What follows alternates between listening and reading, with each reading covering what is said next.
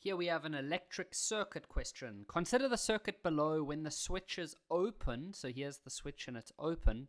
And a voltmeter is connected across the battery. It reads the EMF of the battery. That is correct.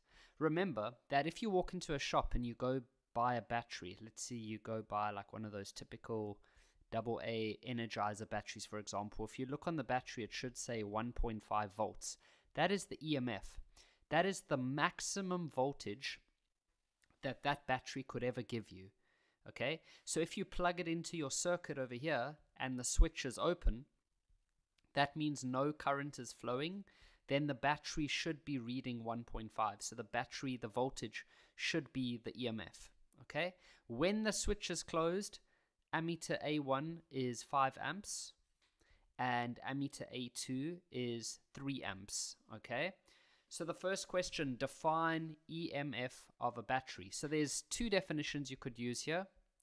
You could say that it is the voltage across the terminal or terminals of a battery when no current is flowing. Okay, so if you had to go to one of those batteries in the shop, let's say you walk into a shop one day and you go open up one of those batteries and you just take a voltmeter and you measure it, it should be 1.5 volts because no, it's not being used in an electrical circuit. So that is the best voltage it could ever give you. However, when you put it into the circuit in real life, it usually goes down a little bit, and that's because of something called internal resistance, which you start learning about in grade 11 um, and 12. Right, so the other definition you could use, remember what voltage, or we, we know this triangle over here, right?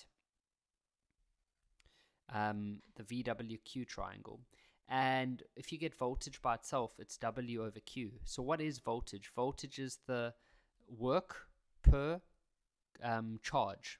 Okay, it's work or energy per charge. So one of the other definitions is to say that the EMF is the maximum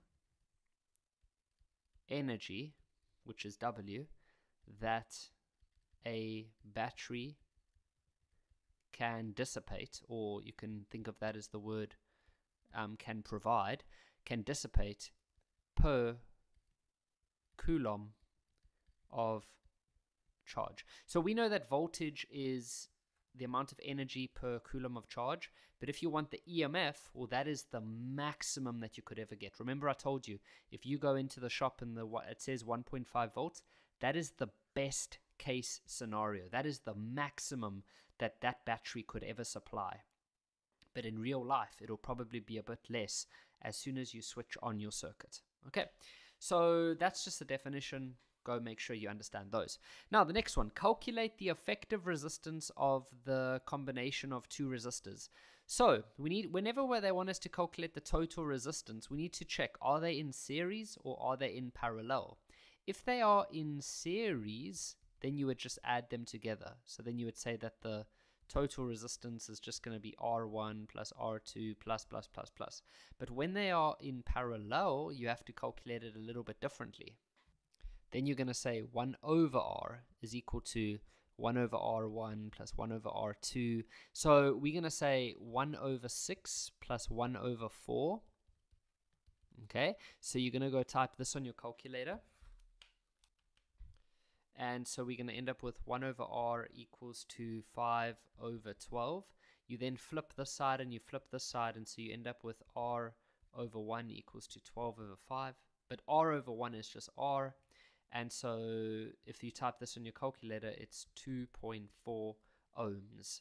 So 2.4 ohms.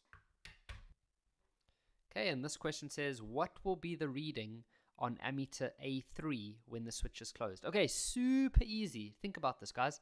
We've learned that, okay, so this part over here, all of this up to there is series.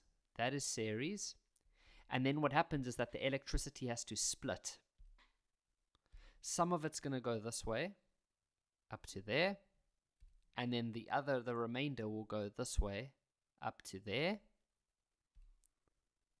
And then it will combine again to continue into that part of the circuit. So everything in red is the main series part of the circuit. So everything in red will be 5 amps, just like we see here, 5 amps. Okay.